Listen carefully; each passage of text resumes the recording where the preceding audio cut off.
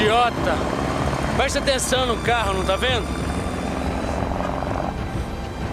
Tô olhando pra você só porque você nunca fez mal pra mim. Aproveita, aproveita que eu tô de bom humor.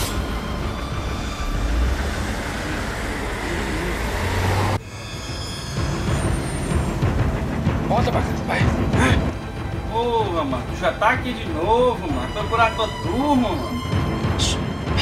Volta pra casa. Deixa ele falar merda, mano. Tua turma.